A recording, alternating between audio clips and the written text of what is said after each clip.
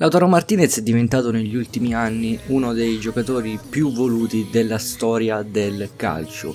A soli 22 anni Lautaro è diventato la colonna portante di una squadra importantissima come l'FC Internazionale Milano, la nostra Inter. In questo video cercherò in tutti i modi di andare a spulciare quella che è la sua vita e analizzare quelli che sono stati i passaggi cruciali per farlo diventare il giocatore fortissimo che tutti noi oggi conosciamo. Quindi ecco a voi la storia di Lautaro Martinez.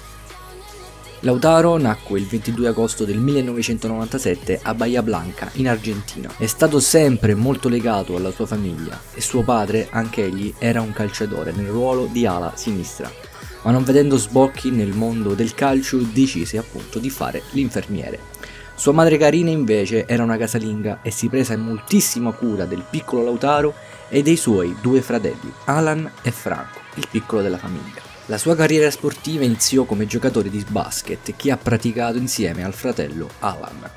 Tuttavia non era quello il suo destino, infatti decise di praticare ben presto il calcio, entrando a far parte delle giovanili della squadra del suo paese, ovvero i Liniers di Bahia Blanca. Il piccolo Lautaro cominciò come ala sinistra proprio il ruolo del padre, ma non brillò mai e venne spostato in difesa, Ovviamente l'indole del piccolo Lautaro era quella di attaccare e moltissime volte si spingeva così in avanti da lasciare il reparto arretrato completamente scoperto. L'allenatore allora decise di spostarlo in attacco e da quel momento segnò una valanga di gol a partita. Infatti da quel momento ebbe la media di almeno 5 gol per match. ¿Qué partido fue? Contra Olimpo el año pasado. Cuatro goles, o sea, un nuevo récord, eh, podríamos decir, cinco goles en un partido. ¿Le querés mandar algún saludo a alguien? Te elegimos como el mago de la fecha, Lautaro, del equipo de menor a mayor. Y a mi familia y a mi compañero. Crescendo tra le fila del Liniers a 15 anni arrivò la prima opportunità per Lautaro. Infatti il Boca Junior voleva proporgli un provino questo però durò soltanto 15 minuti, perché infatti il responsabile del settore giovanile del Boca lo fece uscire ben presto dal campo, dicendo che non era all'altezza degli altri ragazzi e quindi tornò a Bahia Blanca. Un anno dopo arrivò la chiamata del Racing Club che riempì di gioia la famiglia Martinez, un po' meno Lautaro però, che soffriva tantissimo all'idea di dover lasciare la sua famiglia. Passarono i giorni e la sua famiglia infatti riuscì però a convincerlo e a fargli fare le valigie per partire alla volta di Avellaneda, la sede del Racing. Qui venne aggregato al settore giovanili e nel primo anno segnò 26 gol in 26 partite. Scalò quindi molto velocemente le gerarchie della squadra, venendo subito schierato tra le riserve della prima squadra del club. Lautaro fu così devastante che venne anche convocato dalla nazionale giovanile argentina, con la quale segnò all'esordio in un calcio di rigore. La felicità tuttavia durò ben poco, la mancanza di casa era troppo forte per Lautaro, così forte da farlo deprimere, piangere e non rendere più in campo come in passato. Chiamò più volte casa cercando di convincere il padre a riportarlo proprio in patria, questa enorme tristezza stava provando il piccolo Lautaro, così tanto da far accadere qualcosa di terribile. Durante un allenamento fu vittima di un attacco epilettico. Le troppe pressioni lo avevano sopraffatto e allora la famiglia lo raggiunse venendo a conoscenza del fatto che Lautaro del calcio non ne voleva più sapere.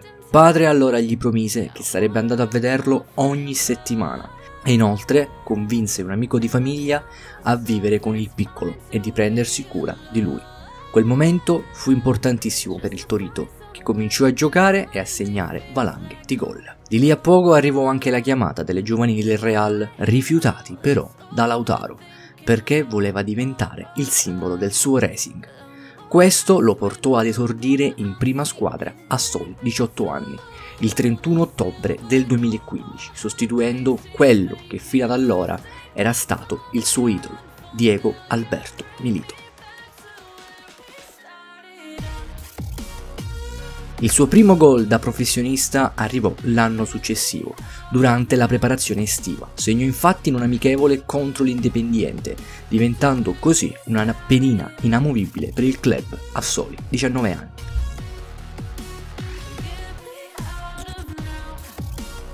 Fu così devastante che riuscì a far qualificare il suo Racing in Coppa Libertadores, la nostra Champions League. La convocazione nazionale Under 20 sembrava ormai cosa fatta, infatti quell'estate si sarebbero disputati i mondiali cadetti. Tuttavia, in una partita amichevole con l'Albiceleste si infortunò gravemente ma la forza del toro superò ogni limite, si riprese miracolosamente prima dell'inizio del campionato del mondo e la prima partita era lì, in prima linea, a combattere con i suoi compagni. Anche qui però non fu poi così fortunato, diventando al suo esordio il primo giocatore in assoluto ad essere espulso tramite il VAR. Le prodezze del Torito non passarono inosservate all'allora CT della nazionale argentina Jorge Sampaoli, che decise di convocarle in nazionale maggiore per delle amichevoli. Ma la sfortuna bussò di nuovo alla sua porta. Durante una partita di preparazione con il Racing si ruppe il dito del piede, che lo tenne lontano dai campi di calcio per ben 114 giorni. Ritornò a giocare il 22 ottobre del 2017. In quel giorno si giocava alla Bombonera, in Argentina, casa della squadra più importante forse dell'Argentina, ovvero il Boca Juniors. Lautaro era pieno di energia e lo voleva dimostrare a tutti i costi. Ecco che in questa partita accade qualcosa di magico. Corre accompagnato dal compagno di squadra che lo serve al limite dell'area e sfodera un destro ineguagliabile di una forza incredibile, sfonda la rete e il toro dimostra a tutti che è tornato a distruggere le porte avversarie. Le sue prestazioni in quell'anno furono le migliori in assoluto, tanto che il Racing dovette alzare la sua clausola rescissoria per evitare che squadre come il Borussia, Atletico Madrid e Inter lo acquistassero per pochi soldi. A soli 20 anni contava già 48 presenze e 22 gol nel campionato argentino.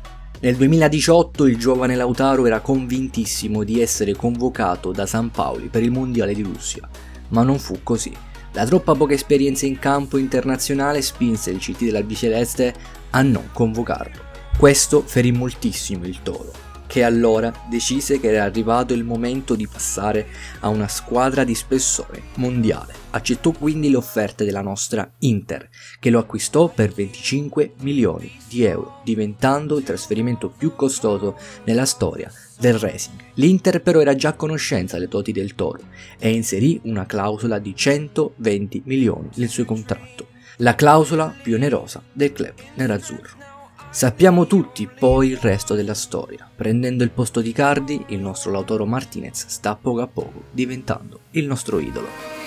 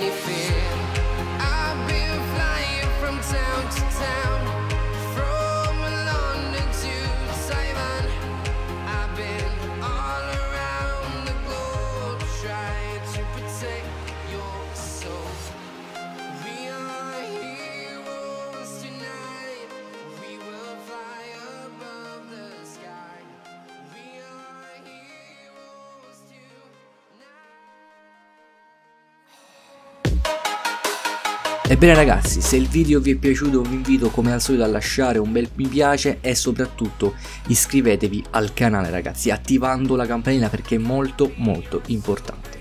Sappiamo tutti che questo è un momento molto particolare per la Serie A, sappiamo tutte le notizie che stanno accadendo in questo periodo, ma non dobbiamo dimenticarci che ovviamente l'Inter è il nostro amore e di qui a poco, nonostante le avversità, tornerà in campo la nostra beneamata. E quindi nella gioia del dolore io ho sempre giurato amore a questa squadra e spero per voi ragazzi che il video vi sia piaciuto, condividetelo con i vostri amici per far sapere magari la storia di Lautaro Martinez se non la conoscevate ancora. Mi raccomando seguitemi su tutti i social come Instagram, Facebook, eh, Twitter e quant'altro, trovate tutti i link di riferimento in descrizione. Adesso è veramente tutto, ciao da Z Cloud.